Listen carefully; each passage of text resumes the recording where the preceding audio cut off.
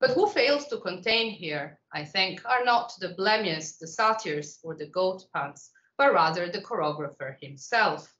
His curt and concise syntax attempts to mirror the job of what the terrae continentes of medieval Latin and our modern continents would later try to do, namely to contain, to hold together lands which should be in turn subdivided into regions. On the one hand, this is but the epistemological version of the act of dividing and ordering land and conquering people, a sort of dividet impera of the intellectual geographer, who was anticipated in this chorographic enterprise by none other than Emperor Augustus, himself the author of a lost chorographia. On the other hand, however, this is nothing more than a gesture for Mela, a gesture that the chorographia may even mock, as it quickly becomes clear that the continents, regions, and peoples of these treaties eventually failed to be contained, or maybe they weren't meant to be contained from their very inception. Never mind that Africa will return in book three of the Chorographia, featuring then at the very close of the work and thus drawing a circle around the whole treatise. What we get for now in this brusque formulation is a clear delimitation of geographical, so material, as well as textual conceptual space. The following word, Asiae, seems to imply that we have turned the page and our minds into a wholly different realm of the imagination. But have we? The first part of Asia that Mela goes on to describe is nothing other than Egypt, that is a contested land at best, straddling both Asia and Africa, and one which lays bare the treatise's problematic boundaries because the border between Africa and Asia is variously placed by Mela in Cyrenaica, at the Nile, or even at Alexandria. Mela's imaginary African geography is, of course, no isolated text. Some of the creatures or people that he mentions can even be traced back to Herodotus, this is in your handout too, who places them next to the Libyan agricultural tribes on the west side of the river Triton, of dubious identification, but likely not too far from the Lesser Syrtis, in a territory that Herodotus writes is full of bushes and beasts. Herodotus's narrative trajectory is meant here to elicit surprise and wonder. After the enormous snakes, Herodotus mentions a few normal animals, lions, elephants, bears, asps, horned asses, and then almost en passant, he mentions the dog heads, oikinocephaloi, and the headless, oiacephaloi. If the dog heads can pass the test of his reader's suspension of belief, the headless are felt to need further specification. So Herodotus writes that they, they are those who have their eyes in their chests. Anticipating his reader's questioning, Herodotus is then quick to cast responsibility for this information upon the Libyans themselves. Hos de legontaige hypolibion, he says, before closing his short catalogue of wild men and women, hoagroandres kai whose mention confirms our suspicion that the dogheads and the headless may have been human after all. Herodotus's attribution of these rumors to the indigenous Libyans is telling of his disavowal of, this, of historical responsibility, but it may also point us towards the existence of a kind of racecraft among African people themselves. This aspect of the narrative disappears in Mela and Pliny the Elder, who instead incorporate these creatures or people into a tradition of Greco-Roman ethnography, also partly Phoenician ethnography. In both Mela and Pliny, the headless have been merged with the historical Blemmyes, a people that Strabo identified as subject to the Ethiopians um, and bordering Egypt, but whom Pliny, and this is the long passage in your handout three, places instead in the desert in Solitudinibus, next to the Atlantes, together with the half-bestial goat pans, the Gamphasantes, the satyrs, the Himantopodas, uh, who are leader-like snakes instead of walking. As Evans remarks, African, Africa's empty landscapes, there are stressed more than once in this passage by Pliny, so you can see intervenientibus desertis or vastae solitudines, these empty landscapes for Evans develop uh, what she calls a blank canvas for the representation of monstrous people. Africa becomes, and I'm still quoting Evans, a stage for playing out fears about the unexplored reaches of the third continent. It is the counter world of our world, the mirror of the oikumene, end quote. But I think we can also complicate the matter by noticing how Pliny presents West Africa, where these marvelous people live, as an inverted mirror for Egypt instead, a land which was in turn perhaps taken as an inverted mirror for Greek cultural practice, at least since Herodotus.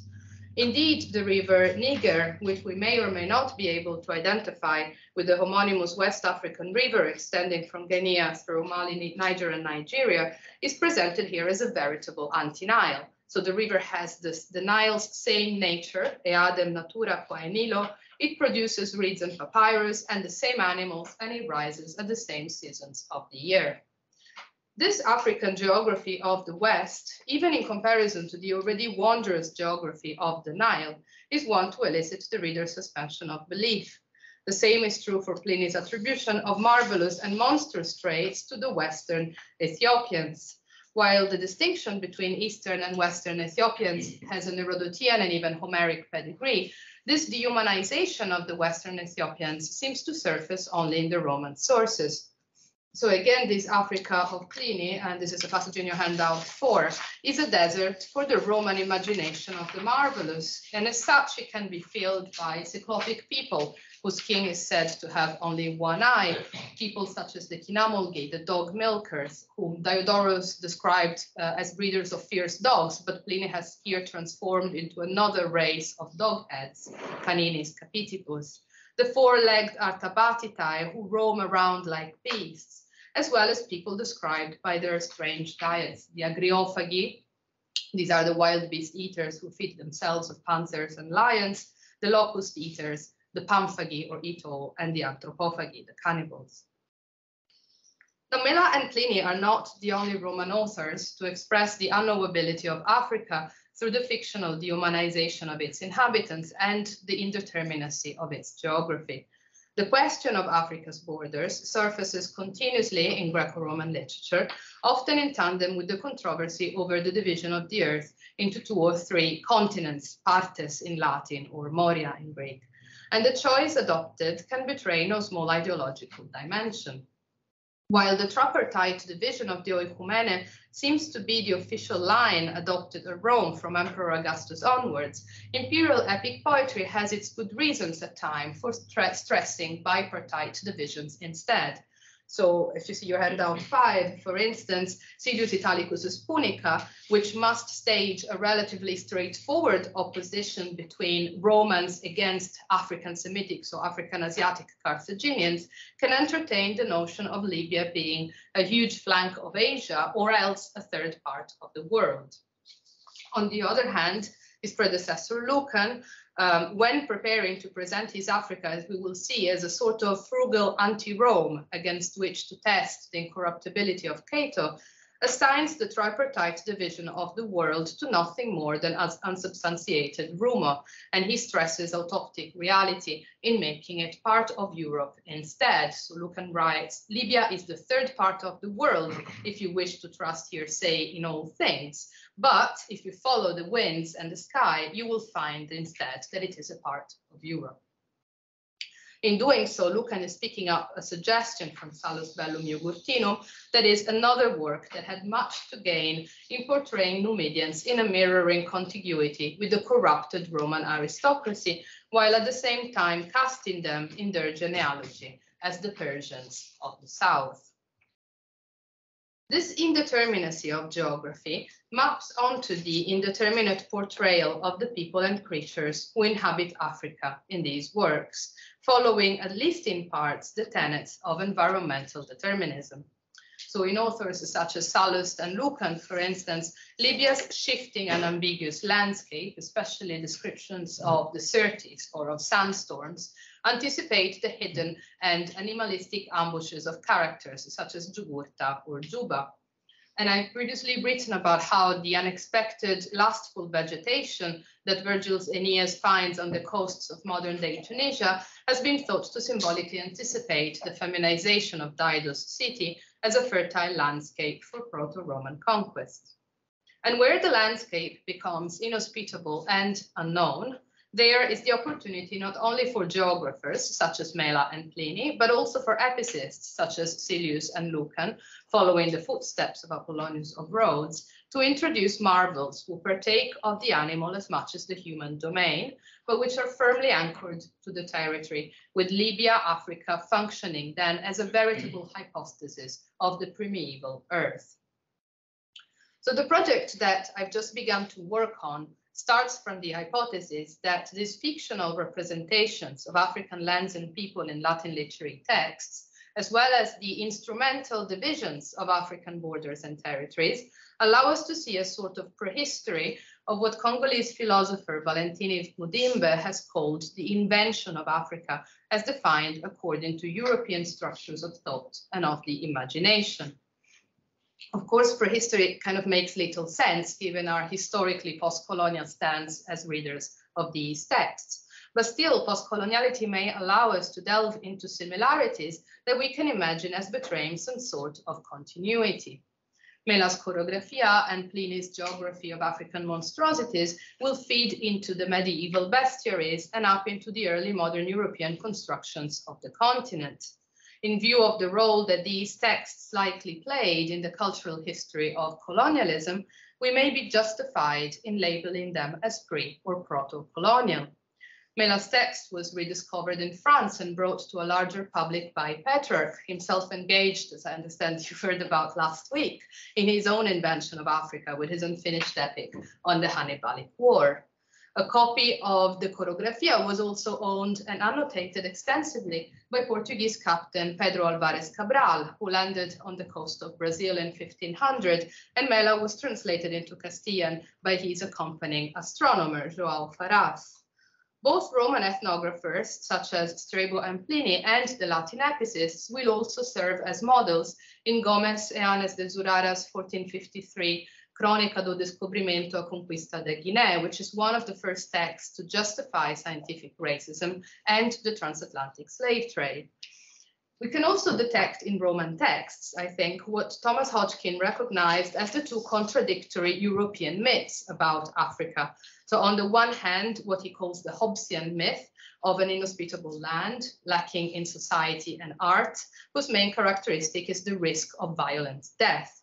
On the other hand, the Rousseauian picture of an African golden age of perfect liberty, equality, and fraternity this double picture resonates, um, as I hopefully am going to show, in the portrayal of Africa in Lucan.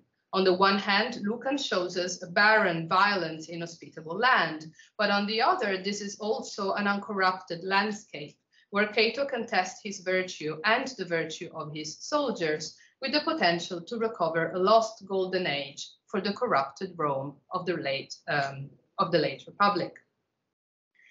For the remainder of this paper, um, then, I'd like to focus on two authors, Lucan and Seneca, who seem to present a view of Africa broadly comparable um, to what we've seen in Mela and, and later in Pliny, without necessarily engaging in the suggestion that Mela may have been in some way related to Seneca and Lucan, which is, however, a possibility that we may cannot rule out. In particular, I'm, I'm interested in seeing how all these authors seem to present um, a neat separation between Africa and Egypt, as well as a conceptualization of Africa as a threshold to test the limits of the human. I also believe that there may be good reasons for such conceptualizations of Africa to emerge, especially under Nero, at a time of potential instability for the relatively brand new Principate, where the risk of civil war was always at the door and the borders of the Roman Empire could function symbolically as thresholds of containment for the unity and stability of an ideal Roman nation. Africa is presented here not, or not just at least, as a place for Roman conquest, but as a veritable landscape of allegory that allows a redefinition of the Roman from a place of utmost alterity. So starting with, with Lucan, Lucan's African landscape, uh, in, especially in Bellum Civile 9, showcases its own generic liaison with the ethnographic tradition and also displays various signs of its subordination to the Roman imagination. Libya is, in the words of um, unnamed Roman soldiers, this is in your handout six, a monster breeding world. She's the mother of the giant Antaeus and of the desert snakes, which, Lucan writes, nature herself had decided to snatch away from the people and give back to the serpents.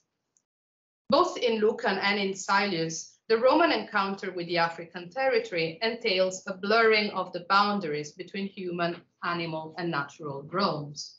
The river Bagrada, that is the modern Megerda flowing from Algeria through Tunisia, where Lucan's Curio lands in Bellum Civile 4 and where Silius Marus recounts that Regulus met the African serpent, is presented in both texts as a sort of river snake, slowly furrowing the dry sand. So Lucan writes, Bagrada lentus agit sic hae sulcator arena in Silius, uh, turbidus arentes lentopede sulcat arenas Bagrada. And Silius also makes the Bagrada the name of an African commander. As a hero of Sallust's uh, Jugurtha's guile and ambushing tactics, Lucan's Juba sets traps to his enemies like the African mongoose tricks the snakes by provoking uncertain shadows in the desert with his tail. In this land, the Romans too seem to mingle with the animal realm, first by embodying the victims of the mongoose, the Egyptian snakes, then by having their slaughter filtered through a long description of the agony of their horses, until the Roman soldiers become nothing more than packed limbs, stipata membra, in their final slaughter. If the Romans are the snake victims of the Mongoose in Bellum Civile 4, they are almost wiped out by the snakes in Bellum Civile 9.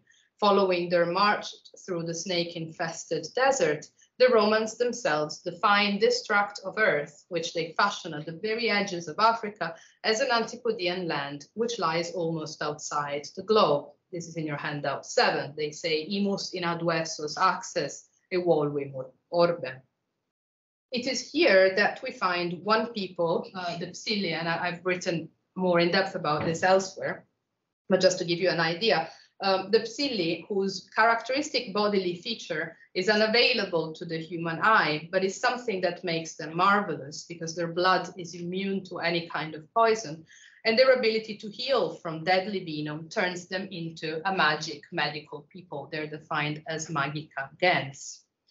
Uh, Lucan's placing of the Psylli in Marmarica, he calls them Marmaridae Psylli, uh, which is between Egypt and Cyrenaica, is both unprecedented and disorienting in terms of the Romans wrote in Book 9.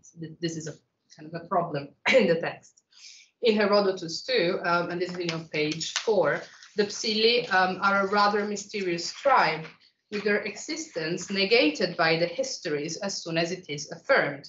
So Herodotus claimed that they are AC neighbors to the Nasamones, but then he says that they have all perished, exapolosi, because they were all buried in the desert by the wind when they were marching to look for water. Again, this is another story supposedly recounted by the Libyans, perhaps by the Nasamones themselves, who may have been the ones to wipe them out. That the Psylli were perceived as half bestial or marvelous by the Romans may be confirmed by Strabo, who possibly identifies as Apsillus, the originator of the Ophiogenes, saying that he was originally a serpent who had metamorphosed into a man.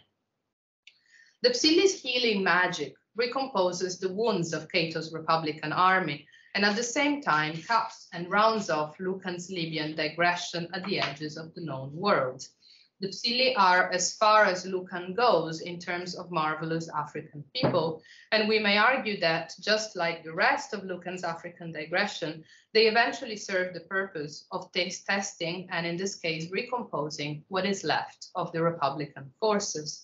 The peculiarity of their bodies is not only uh, not attributable to deformity, but it consists in an unseen internal quality that actually allows them to reshape and recompose the now deformed, wrecked, and wounded bodies of the Romans into their pristine formae. In this sense, they are the literary heirs to Virgil's Iapyx, the doctor who heals Aeneas's body in the last book of the Aeneid and recomposes it in what is described as an almost magical and miraculous way.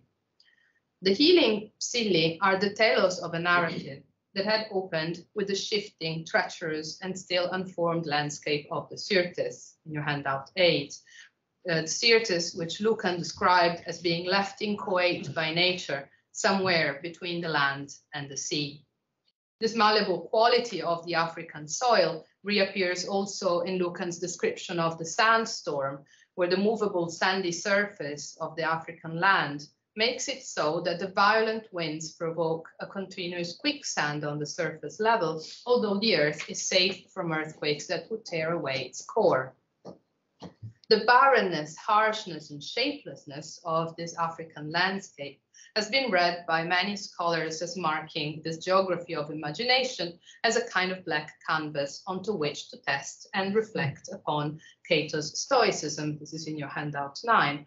Already Seneca in episode 104, which became particularly famous yesterday, um, not this bit though, had used the dryness of Africa to exemplify Cato's enduring virtue and had already turned it into what Macaulay called a landscape of allegory. While Lucan admits that some parts of Libya in the west are fertile, um, overall he conveys the implausible picture of a land with no rivers, and this is a fiction which was vehemently denied by Strabo. This fictional landscape also shapes the character of its indigenous inhabitants according to the tenets of environmental determinism as Cicero already said of the Carthaginian uh, in your handout 10, what makes them untrustworthy is not their ancestry, but their geography. The same is true of the Numidians, which Lucan in book four pairs with the Carthaginians in terms of untrustworthiness. He talks about libicas, libicas fraudes, um, with the shifting landscape of Africa being reflected uh, both in their wandering nomadic nature, that he calls them numidae wagi, numidae fugaces, and in their fickle disposition. Already Sallust uh, said uh, of the Numidians that they were a genus infidum, um, ingenio mobili. In 9, the harshness and barrenness on the landscape on the other side is also reflected in the hardiness and lack of means of the Nasamones in your handout 11, who feature here as a hardy and naked race, dura, uh, nudus, um, and the Rhinopia, as specified in Book 4, Inops Nasamon, is here translated also into the territory's lack of riches, lack of opes that may cause the land to become both violated by the Romans and itself corrupted. This landscape of allegory, where the hardiness of the Nasamones also anticipates and reflects the stoic hard virtue of Cato, dura virtus, continues in the imaginary landscape of the Garamantes and their territory, where Lucan twists both the nature of the Garamantes and African geography here in order to test Cato's resistance to the oracle of Jupiter Ammon, proving his distance from the model of Alexander the Great that had instead plagued both Pompey and Caesar. Um, the major geographical inconsistency here is Lucan's insertion of the oracle located in the oasis of Siwa um, in current Egypt towards the border with Libya in the territory instead of the Garamantes, which would be in Fezzan, like central Libya. It could be that the association was provided by the figure of King Hyarbas in the Aeneid, who was described by Virgil as son of Jupiter Ammon and a Garamantian nymph. So it joined Ammon and the Garamantes. But Lucan here also paints a picture of the Garamantes as a nomadic people, which actually goes, goes against both Herodotus's account of the Garamantes as a people who practiced agriculture and Lucan's own account in book four, where he claimed that the Garamantes cultivated the land naked. In Bellum Civile 9, the Garamantes uh, joined the Nasamones in having their dwellings subject to constant ruin by the sandstorms, and they are specified as inculti, a term which literally and traditionally refers to their nomadic existence and to their lack of agricultural skills, but which we can see here in Lucan as also assuming a wider moral significance in the lack of decor that characterizes the pristine and uncorrupted existence of Jupiter Ammon, which is the last bastion of resistance to the corrupting influence of Roman gold. So this very swift account of Lucan's Imagine Africa um, shows Africa, um, I hope, as hanging between a picture of animalistic monstrosity and violence and an, an anticipation of the European myth of the good savage. In order to obtain both effects, Lucan feels free to twist the coordinates of African geography change the characteristics of its inhabitants, and overall present the land as almost inchoate and malleable, ready to be molded by the Roman literary imagination. So I turn now to a very final historiographical anecdote that is presented instead by Lucan's uncle, and which I believe offers many points in common with the landscape of Africa that is exposed in the Bellum Civile. Now, this is a rather short passage from Seneca's Natural Questions that recounts an expedition ordered by Nero to Africa to retrieve the mystery of the sources of the Nile. While Seneca's purpose in this passage is supposedly of a natural scientific kind, namely, uh, Seneca wants to demonstrate the existence of underground rivers for the larger purpose of explaining the causes of earthquakes.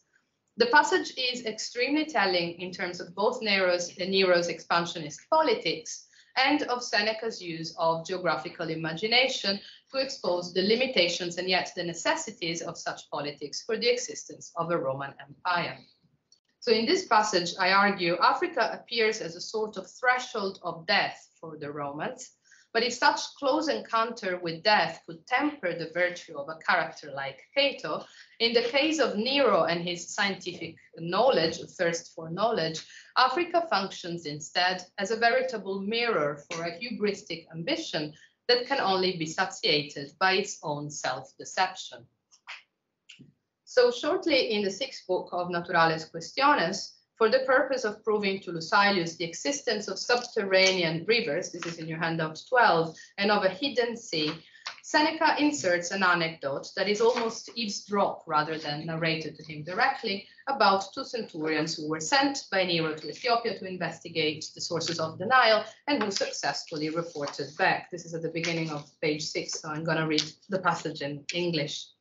In fact, writes Seneca, I heard two centurions who were sent to investigate the source of the Nile by Caesar Nero, lover of all virtues, really, but more than anything, lover of the truth.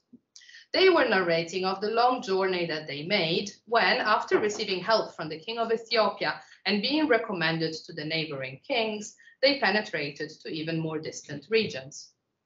After many days, they said, we came to immense swamps the way out of which neither their dwellers knew, nor can anyone hope to know.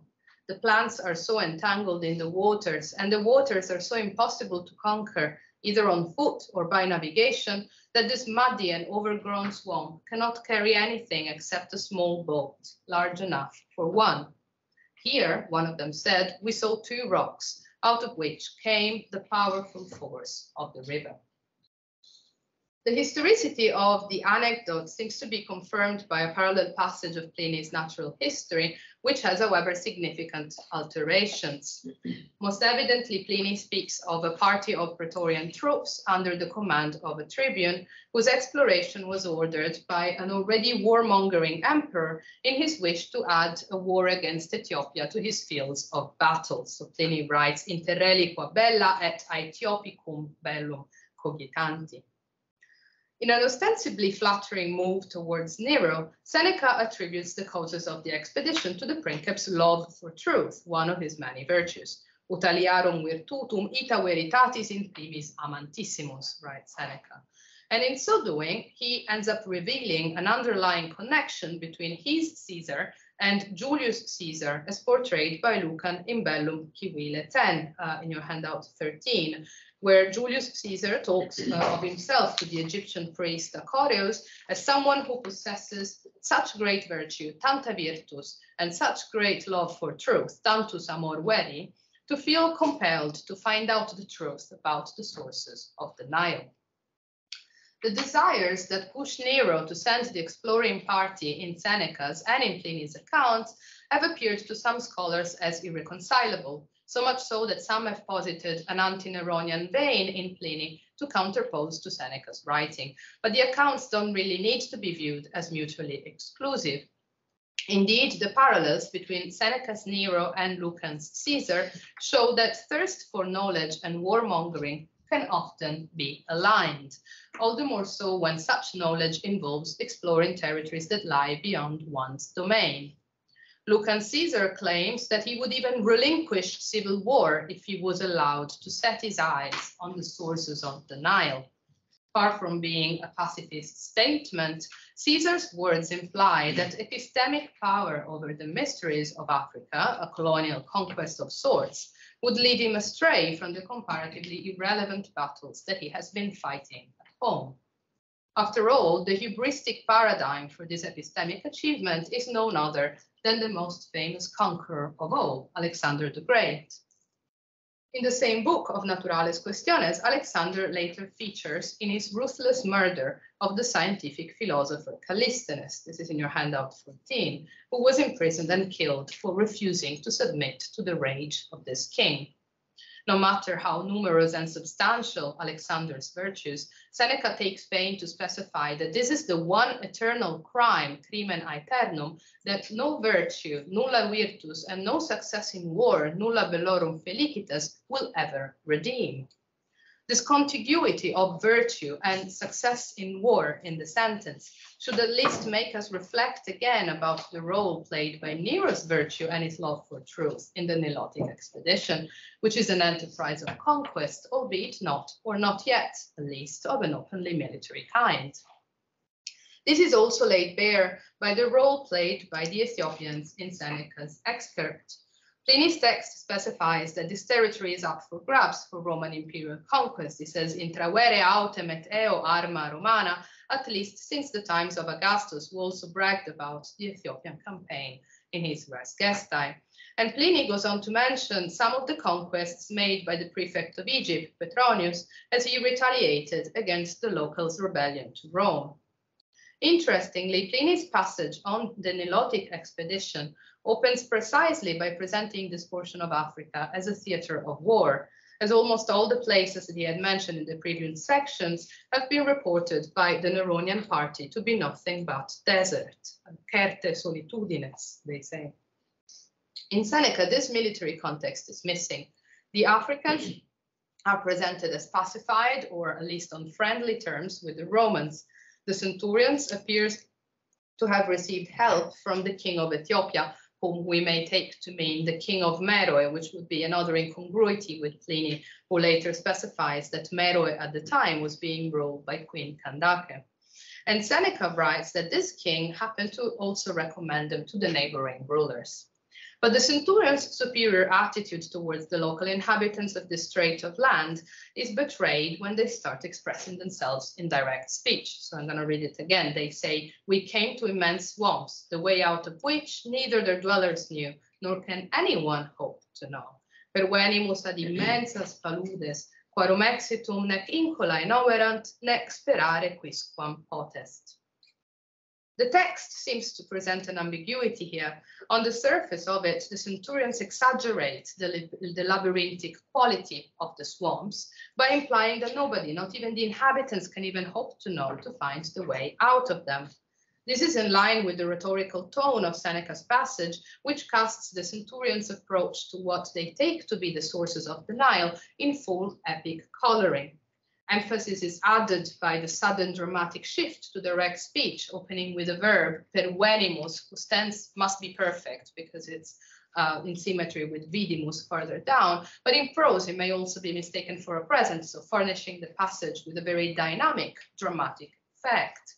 The centurions further use Virgilian adjectives of size of the kind meant to elicit sublime feeling, immensas, ingens, as well as rare and poetic vocabulary, such as the hapax legomenon, eluctabiles, or the rare and almost poetic absolute use of the participle obsita that is normally accompanied by an ablative.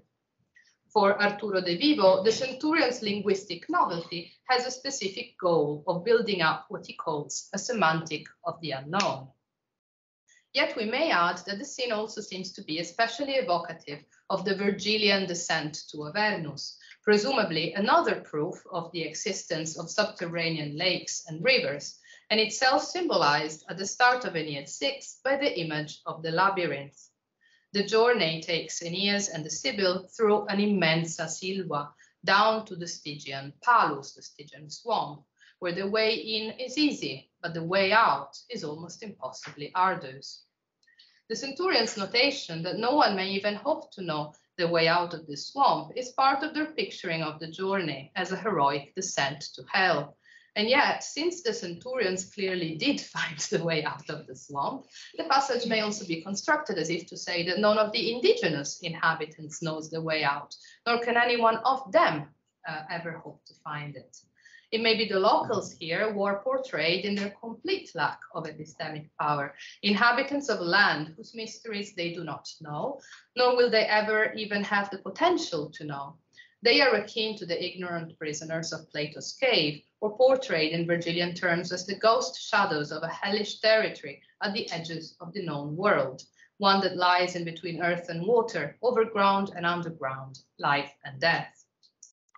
Of course, this portrait of the helpless natives is presented by the centurions, not by, the, by Seneca himself.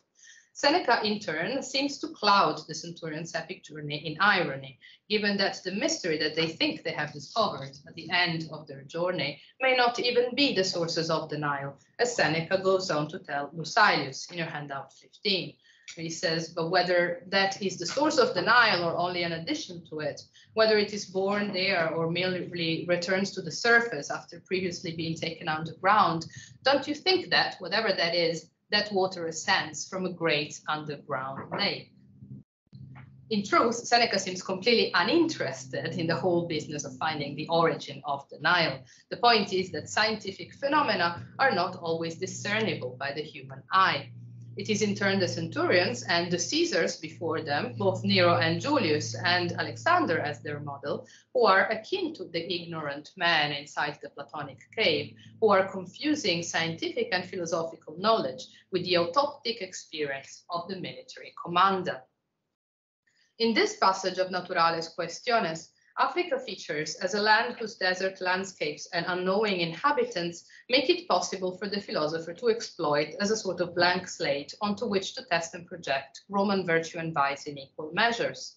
While some historians have suggested that the passage may be located in the vast South Sudanese swamp known as the Sud from the Arabic Sad, that is barrier or obstruction, the two rocks from which the centurions believed to have witnessed the source of the Nile um, seem instead really close to the description of the so-called veins of the Nile around Philae in the fourth book of the Natural Questions. These are in your handout 16. And so they end up casting doubt again on the reliability of this account. The veins of the Nile are duos scopuli, ex quibus magna vis funditur. So it's very similar to the passage. Even more interestingly, as noticed also by Mauro De Nardis, the limosa et obsita palus uh, of this passage may have been, on the whole, rather reminiscent of the marshes around the Nile as described by Seneca in his lost treatise on the geography and on the sacred rites of the Egyptians, de situ et de sacris Egyptiorum. Indeed, Servius is reminded of this work by Seneca when commenting precisely on the Stygian marshes of the Virgilian underworld. This is handout 17 and Servius finds the original Stygian swamp again around Philae, presented by Seneca as difficult to traverse, quam transitu constat esse difficilem, because of being muddy and overgrown with papyrus, limosa et papyrus referta. There is therefore a direct triangulation between this description of a swamp at the very edge of the known world, the waters around Philae, and the underworld marsh of the Styx, where the shadows of the dead converge. And yet it has also long been recognized that in Naturales Quaestiones for a uh, 2-3, which is your handout uh, 18, Seneca seems to confuse Philae, that, was that is located just above the first cataract, with the region of Meroe instead. So the description seems to be the description of Meroe that is located farther down between the fifth and the sixth cataracts. Um, and this is a mistake that is all the more startling given the incongruity with Lucan's parallel account um, in Bellum Civile 10. Seneca's oversight, or rather perhaps conscious adjustment of geography here, may be comparable to the geographical mistakes made by Lucan, as we have seen in relation to the Psylli or the Oracle of Jupiter Ammon, and it may well have here a rhetorical effect. Gareth Williams uh, comments on the suitability of having the speaking place of friendship and reconciliation, philae that he translates as amicae, uh, Seneca, as the symbolic border between Egypt and Africa, as well as a symbolic cradle of civilization. The name is also reminiscent of another symbolic border between Greek and Punic Africa that was marked by the devotio of two Carthaginian brothers, the brothers Philaeni, who sacrificed themselves for their nation, as narrated by Sallust in a poignant excursus of the Bellum Jugurthinum. For Seneca, this recollection at Philae, where the Nile recoils after having traveled through great wastelands and having spread out, out into swamps, magnas solitudines pervagatus et impaludes diffusus, um, creates uh, a direct opposition, I think, between the last portion of Egypt and neighboring Ethiopia, where the Nile continues his course next, as he goes on to say, ab hac Nilus magnus magis quam violentus Ethiopiam, um, etc. Uh, praelabitur. The Naturales Quaestiones had already imposed a clear boundary between Egypt and Ethiopia. Um, Ethiopia had already been presented as a land of dry deserts. This is handout 19, siccas solitudines, with very few springs and an ardent weather. Seneca had portrayed the region as a, as a desert landscape, also indulging in a kind of pathetic fallacy when describing its lands it stands as lying abandoned and thirsty, quick to drink from any little water that they may receive from the sky. And it is also for this reason that Seneca also says that he believes that one must reject Anaxagoras' theory that the Nile originates from the melting of the snow on the peaks of Ethiopia, since there is no snow in Ethiopia. So to conclude, Seneca needs Ethiopia and Africa, I think, as a land separate from Egypt, whose very barrenness and hostility to humankind can test the limits and endurance of Roman military virtue and thirst for knowledge.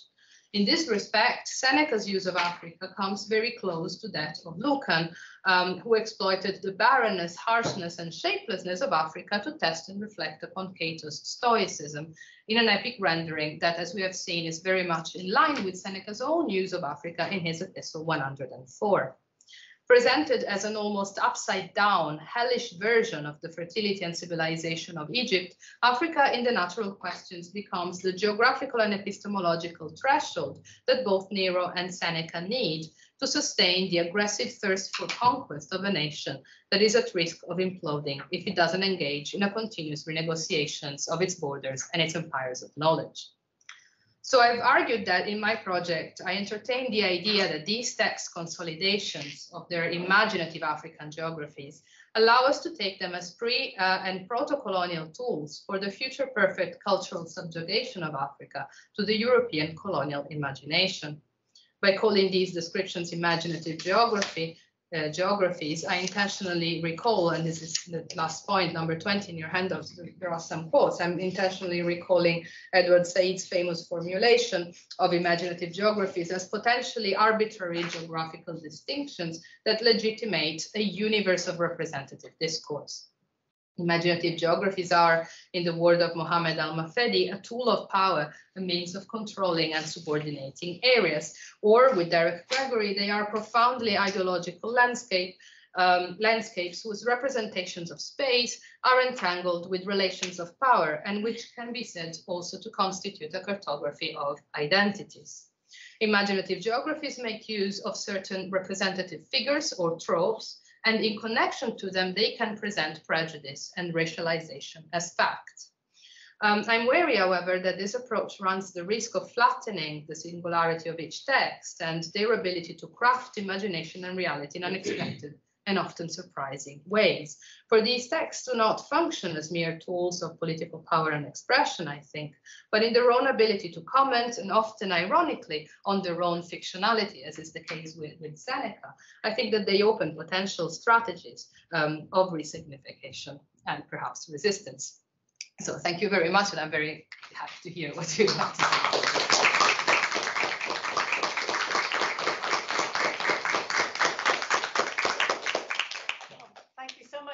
for such an amazing range of material. Um, we had a little bit of a, an introduction to one of your authors last week, um, but now it's uh, Paul, very nicely. I think um, the audience will agree on, on our presentation um, last week, actually. Um, I don't see any hands up right now. I will encourage some hands up. Um, and, but I will, I will take the, take the liberty of asking um, a, a, a dumb question from uh, a savage who was literally born in a sandstorm in Limerick.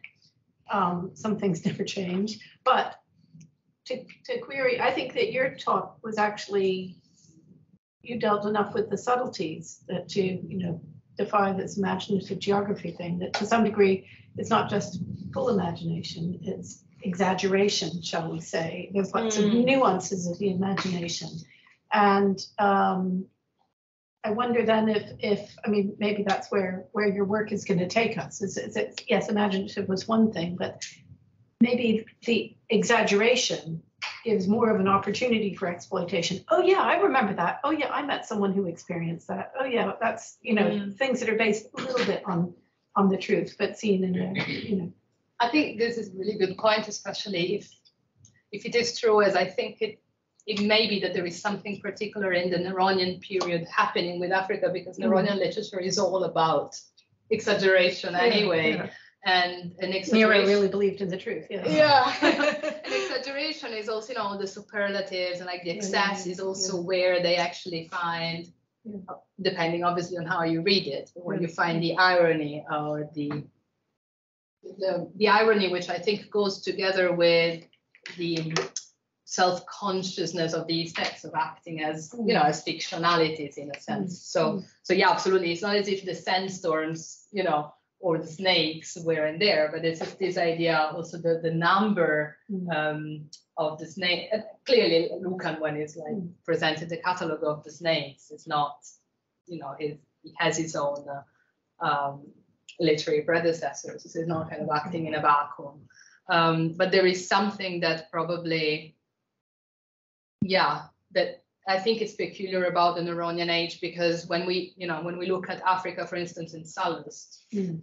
I don't think we get this sense. We, we, there is something similar. I think Andrew Feldherr, in particular, has made very recently a case about the sandstorms in Sallust and the shifting of Mm. narrativity, but it it's very different. Mm. We don't have this exaggerated. So it could be that it's it's in there that then it gets filtered Mm. to become, yeah, I don't know, but, but it's a good point. It's nuanced. Yeah. Yeah.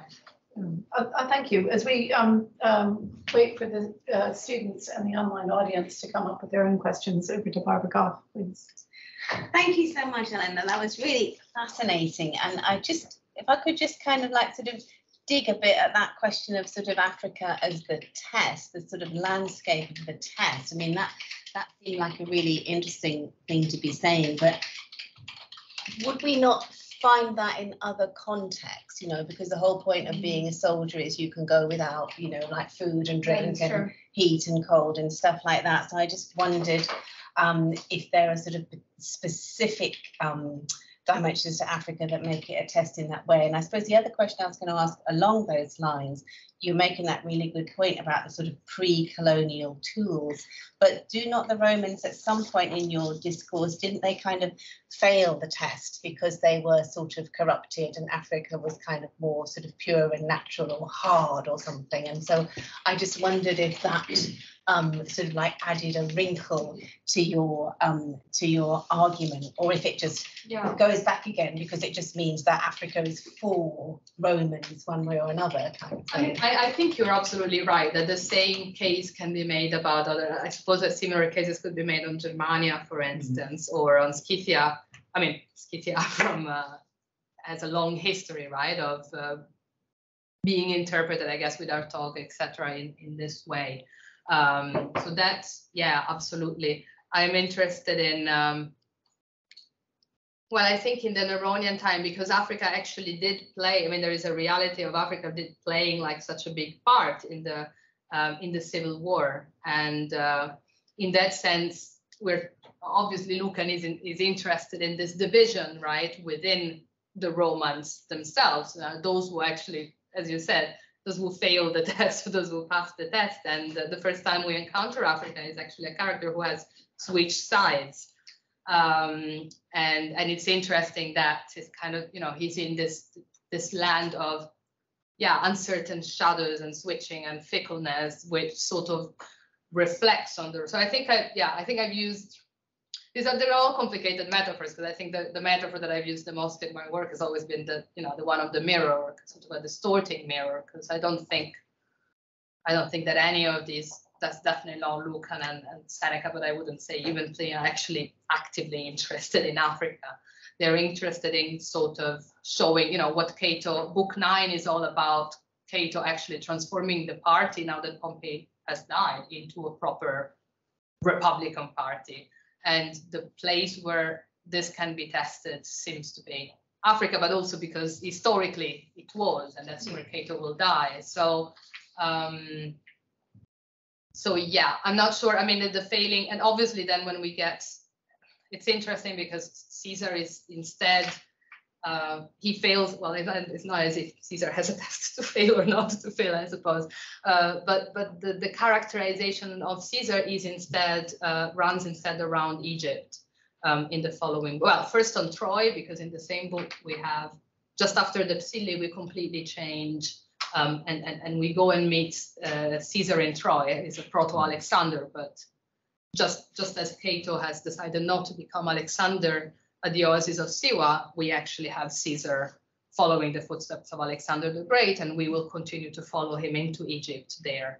Um, and, and, and the corruption of Egypt and the decadence of Egypt seems to be directly traced onto the corruption of Rome. So clearly they're not interested um, so yeah, I think I'm talking about it as a test in terms of just in terms, I think, of what Seneca and Lucan are doing with Cato's character, I suppose. It's sort of a stoic, it's a test for stoicism.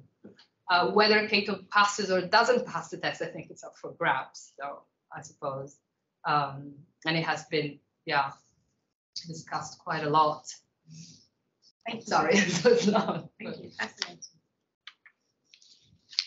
Robert, Right, it's a follow-up question. I, I'm, I'm well, like Barbara, I'm still pu- puzzled by uh, um, uh, by this. Uh, uh, I was also thinking about Africa and, uh, and other provinces, but, well, uh, uh, when you're thinking about Africa uh, in the mid uh, uh, first century, so uh, we are dealing with a uh, uh, with a province uh, which has been in Roman hands for 200 years, uh, which provides uh, uh, well, quite an important part uh, of the uh, uh, of the food that the, uh, that the city needs, uh, which is highly urbanized, um, much more densely urbanized than Gaul. Not to think about the Iberian Peninsula, and uh, all that uh, uh, your authors see there are snakes. Deserts and that's all. So, so uh, uh, I wonder whether they try uh, in any way to well engage with uh, geographical, social, or economic Mm. uh, reality of their time. I mean, Pliny certainly does. He does describe, you know, the Oppida Romana quite at length, and I mean, he does seem to make like a his own mosaic of sources.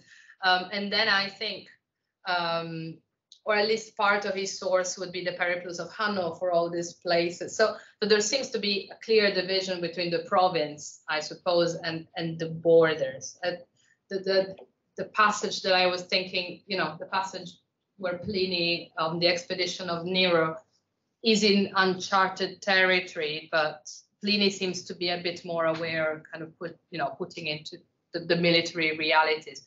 Um, but yeah, I don't know if there is, seems to be like a division between, you know, the granary that, that Mhm. clearly is uh, parts of, Af- kind of the Roman Africa, not as conceptualized. Um, but yeah, I think Lucan, because we're dealing with this with, with epic, we don't yeah, I think you're absolutely li- right that he there seems to be an exaggeration of the those characteristics of Africa that serve his purpose there. Um, but even in epic, I mean, in one thing, kind of Africa sort of one thing that I always think of is because that's what I worked on, but on the representation of Carthage in epic. When Aeneas arrives in Carthage, there is a very strong feeling. Well, apart from the fact that there seems to be a description of the city that is closer to the colony that Augustus um, was founding probably at the time. Um, so, so that is has been much discussed. That the description of the city is is not really the foundation of Dido, uh, but there seems to be the superimposition of the colony on it, and a lot of historical irony going there. But we also have the sense of I don't know the Carthaginians are compared to bees laboring and you know collecting food. We may actually feel a sense of uh, you know yeah this is province actually already working for the Romans for the Mhm. um, it's no nothing like explicit, I suppose, but but this aspect may be there. Um, in Sallust, which I didn't I didn't talk about, but we get a clear, I mean, we, we get many clear divisions, but one of the clear divisions that he imposes is between the cities on the coast and the Mhm. um, and the places in the in the internal. And Jugurtha is um, associated very heavily by Sallust with um, with the Gaetulians in particular.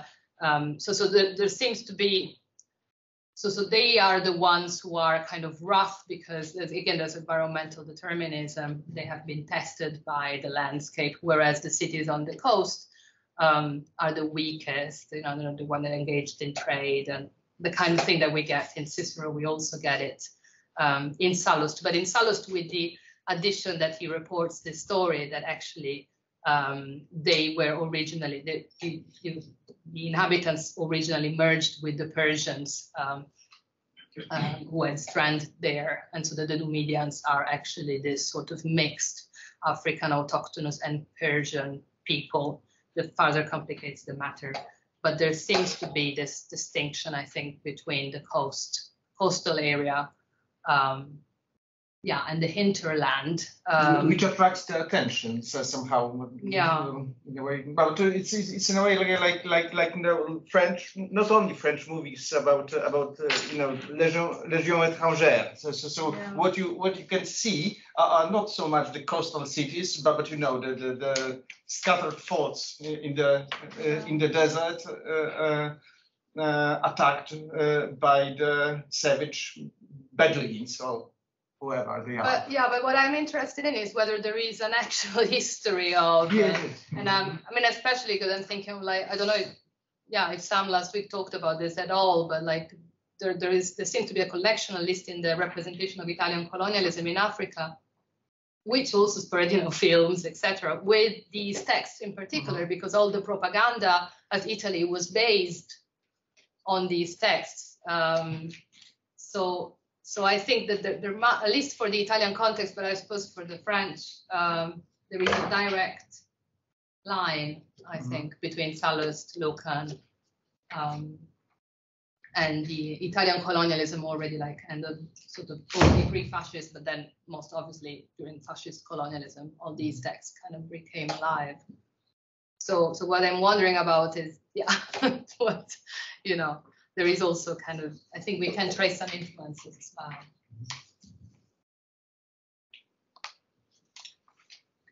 Any further questions? Oliver, please, thank you. Yes, that was truly fascinating. It was great that I had a chance to, you know, um, uh, talk to you before uh, last week. Um, I, I'm very fascinated by the Seneca bit. Of course, I would be, um, and that is precisely the the question is happening at the end of his life, and him already having written at the beginning of his life a book on Egypt is very interesting, precisely because he might actually, in a way, be talking to himself when he does those of comments, as you as you pointed. But also in the Naturales Quaestiones, there's a there's a there seems to be some sort of tension between expansion as well, beyond the limits of the known world, uh, in that sometimes he is extremely positive, as when he says, you know, that from Spain to India, you can go in just a day's journey in a vessel. Um, so he's very optimistic with that. But then Ethiopia is this kind of world that you cannot really go to, and you shouldn't even try in a way, that it is, you know, uh, literally the, the, the underworld. It is, you know, literally uh, uh, Avernus. Um, so I wanted to, you know, think about that kind of with you, if you, if you, if if you had any kind of further insights into the philosophical and contemporary uh, uh, uh, connotations of precisely this passage around Ethiopia. And also, so I have a second question, really, which is kind of really the question. The first one was just thinking of you, which I thought was very interesting. Um, is um, Ethiopia, of course, is both important to uh, Caesar here and to Nero.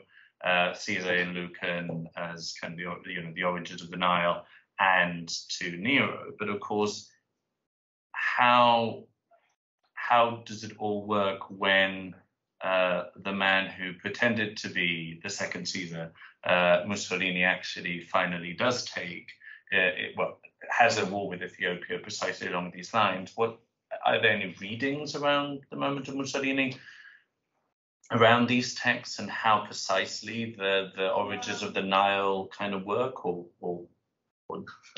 I actually don't know. You should really ask Sam about um, yeah, I actually, I mean, Sallust for sure, um, and Luke, and I don't know about these texts precisely. That mm. would be, it would be interesting to know. Like, I mean, Mussolini was very well read. Um, in classics. So it wouldn't surprise me if at some point there was something about but I don't I can't recall any yeah, sort of yeah, Mussolini yeah. looking for the also because the origins of the night yeah so so I wouldn't I wouldn't know about about that or a, or a role played by Seneca specifically but that would be interesting interesting to look at um, regarding the expansion, um, I've been trying to think a little bit about this together with um, that article by Harry Hine on sort of kind of the role of the sage and the role of the emperor within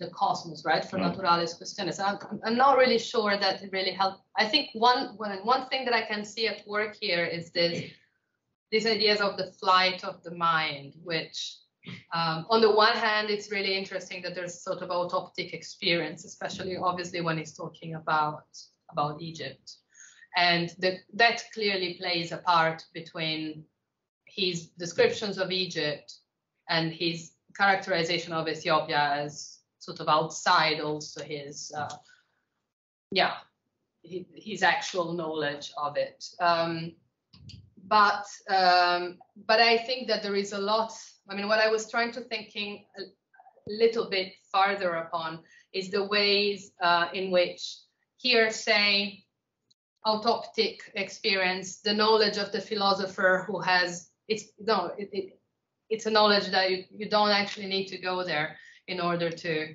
yeah, in order to understand, because there's a whole point, right? It's that things happen underwater. You can kind of get there with your mind, which is very fitting for Seneca, you know, and the context of writing, of writing the Naturales Quaestiones. Um, so I was thinking a little, trying to think a little bit harder about these points. And I mean, here in the talk, I try to stress that kind of philosophical knowledge against auto, so autoptic experience as the experience of the military. But I think autoptic experience really is the experience of history or the his, historiographers. I mean, that all Roman historians, so Professor Livy, etc., stress this sense of kind of history as something that has to be seen, right? And also, what is the role between that and hearsay and the way in which he narrates this almost historiographical anecdote, as if you're eavesdropping it from this um, centurions. Um, so I, I, was thinking about this different, um, which doesn't really answer your question because it's more about kind of expansion and limits, I guess, of testing knowledge and boundaries, which can be, you know, positive as a, I suppose, you know, positive thresholds that exist rather than just.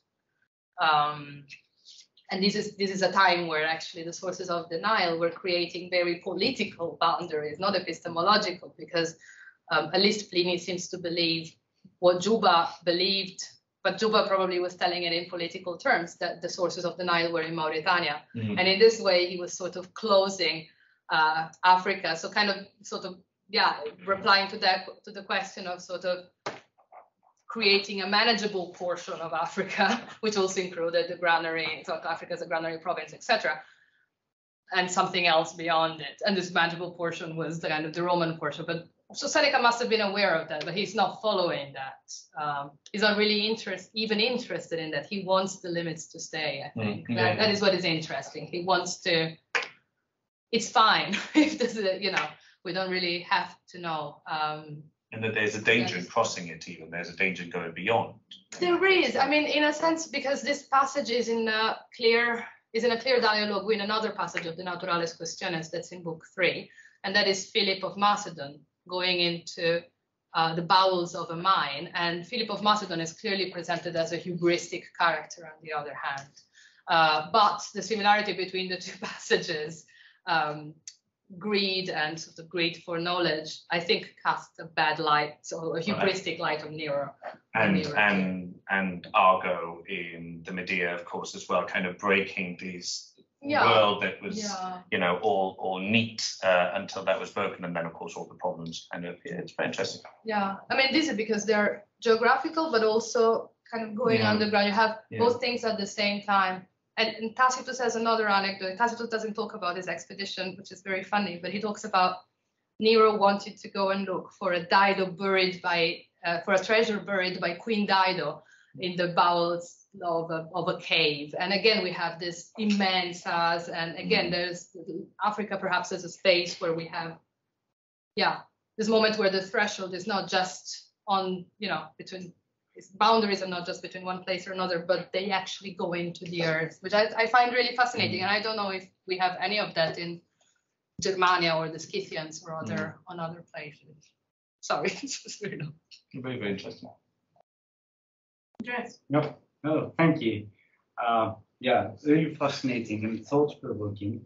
I also believe that uh, the comment, uh, I mean, Seneca's comment is ironic, especially with the reference to to the tooth and how tooth those days, you know, I mean, someone who's keen for to, to hear the tooth is really important. Let's not forget, I mean, how later depiction, historical depictions of Nero and how he responded to signs of tooth Yeah. uh, were actually uh, being taken and known.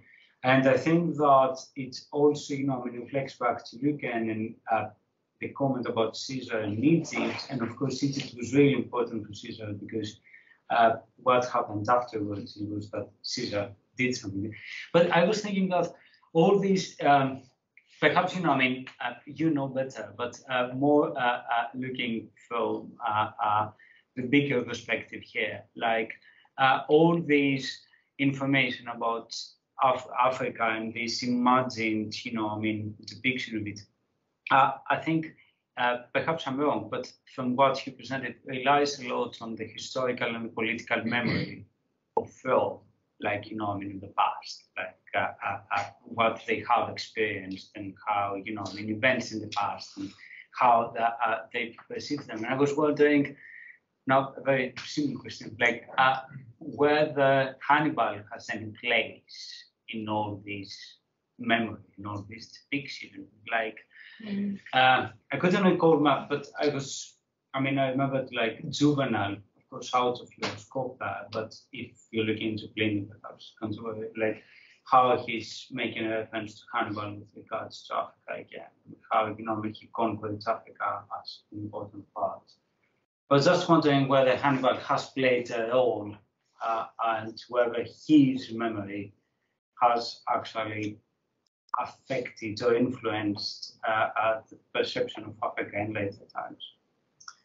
Yeah, thank you. I think I spent too much time with Hannibal without. Um, I I've been wondering actually for this project because I've I've always been like very firm on kind of I'm leaving Egypt out because they are leaving it out. But I think that with Carthage there is also perhaps something to be said about sort of Carthage as a Phoenician has been felt. Obviously, Hannibal is felt as African African commander, and there are many points of similarities that one could make, especially with Jugurtha and uh, possibly even, I mean, especially the kind of Silius rewriting his Hannibal, um, also kind of looking at Lucan, I suppose. Um, it's interesting, I think, that in Lucan, Hannibal seems to be a character who come, becomes almost more a double for Caesar than uh, than Juba. Uh, so especially in the first book of Lucan, and I, I, don't remember exactly, but I mean, there's sort of the crossing of the Rubicon. That there, there are ways in which it is meant to recall the um, yeah the descent through from the Alps, um, and this connection between Hannibal and Caesar as said along. So that would be interesting. That Hannibal seems to kind of somehow. I mean, I may be wrong here, but I think that with in Africa it's difficult to take it like this because there are so many different people. They have all different connotations. That, that is also part of what I'm trying to do. The the Nasamones, the Garamantes, the Gaetulians in different authors are, you know, they have different. But the the Carthaginians in particular, and um, I think this especially when you read when you read Sallust, and he, he, gives you this excursus on Africa and all the people, and of course he's interested in Numidia. He says that he has been reading Punic books. He says, I'm taking this from the Punic books of Hiempsal, so now we don't know much about what it is that he is um, talking about. And uh, Pomponius Mela is also believed to be um, showing kind of a Phoenician geography. Pliny is basing himself a lot on the Periplus of Hanno. Um, so in my mind, there seems to be a sense that Carthaginians are more um, not on the Roman side in a sense, but yeah, there is something different about Carthaginians that the Romans kind of, in terms of production of knowledge, they probably felt them more. But also when this parallel between Hannibal and Roman commanders, also in Livy, there's there's plenty that has been written about Hannibal and, and Scipio in particular, um, which continues with Jugurtha and Marius, obviously. Um, but yeah, so I'm not really sure about uh, this for Hannibal, but also for Carthage in general. I'm not really sure how much Carthage plays a role in the kind of things that I'm looking at here. Does, does it make sense? Yeah, yeah. Um, did you have your hand up? Sorry, no. Um, No. Well, yeah. How would we, should we interpret Lucan's famous line about Africa nos potius Vincat Sibi? As part Africa as Africa nos potius Vincat Sibi, um, better than Af- Africa. ah yeah, the end of book four. Yeah. Um, does, uh, does that mean that um, is there any hint that Africa has been corrupted by Roman colonialism uh, if they, they got into this sort of slightly ridiculous position defending Rome against itself? Uh, or um, does it mean that Africa is an inveterate enemy and there's going to be a fourth Punic War?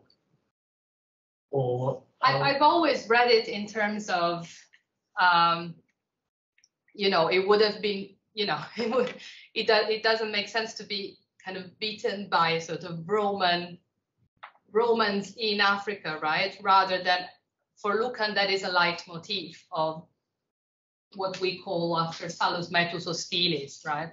If um, there's the sense that if we if we keep the idea of this external enemy that is non-Roman, that may save us from the civil war. That is how that is how I read it. So then for him it becomes paradoxical at the end of book four that we should find civil war in Africa. That's the most paradoxical place where we should find it. But he also reads it as a curse. Um, for instance, there's the, the figure of Metellus Scipio uh, that is a sort of sacrifice uh, to the to, to, to the Scipiones. So uh, the fact that exactly 100 years after the destruction of Carthage, uh, this Scipio dies um, is felt by Lucan, and it was probably already felt by Asinius Pollio, though we, we we lost you know the work. But it seems very clear that this idea of uh, this is the curse from the Punic Wars. This is these are all sacrificed to the altars of Hannibal and Jugurtha, um, all of these Romans. So there is a sense, I think, that uh, part of what I said, you know, about book book nine is that when Pompey dies, because personally I don't think that Lucan. It's not as if you know it's not like positive or negative about Pompey, but I guess that without at the very beginning of book nine, we have the feeling that now that Pompey is dead, um, Cato says it explicitly. Now this party can really become the party, the party of of the republic. Because up to that point, you know, this was another possible Caesar, another Alexander. So Africa becomes the place where Cato can make it become Africa again. So this is a place that is non-Roman. We're taking kind of civil war out, and is testing Romanness in Africa. So that is that is part of what happens. But then I think that again that that becomes it's very ironic in Lucan. Um, partly because Cato is saved by this African people, the Psylli. And then actually, if we follow that story a little bit closer, we find out that these Psylli were not there, but they had been following Cato for a while. And there is a story of, of the Psylli kind of being acting as, at Rome as Roman doctors for money for a very long time. So we sort of find out at the end that, that this place already has Roman corruption after all. Um, but I think that the passage that you're, that you're thinking about, he's playing with this idea that Africa could save us, which is what Mussolini, Mm. right? Uh, that that was the whole point of uh, testing. So I don't know how much we're kind of I'm reading Lucan through that sort of colonial lens because that's something that has been done. But uh, but I think that is something that is in these texts already. Um, I don't think that Lucan believes in it too much, but he's playing with those with those ideas. Might might I ask you, have ever, you've ever spotted any trace of the uh, Jewish tradition that the Africans are Canaanites who fled from Joshua? No, so the the on the Canaanite. Um, well, it, it, it, it became a, an idea among Jews, isn't Uh-huh.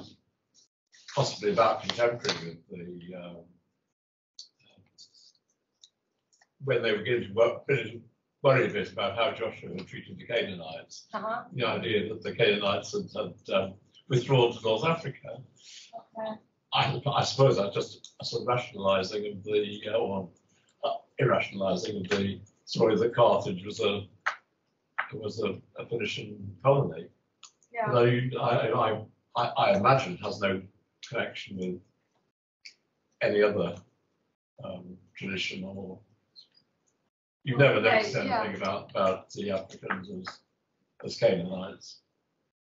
Uh, you mean the North Africans? Yeah. Yeah, as like in as like foundation of Carthage. Yes, yeah. Yeah.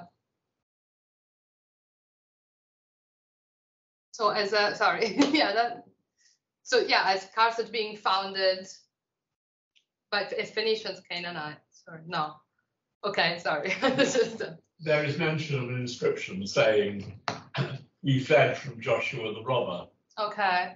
Um, but I, I, I think it's only a, you know, a fabrication. Okay. I'm just asking if you had any hint of any such. Um, No, I'm sorry. no.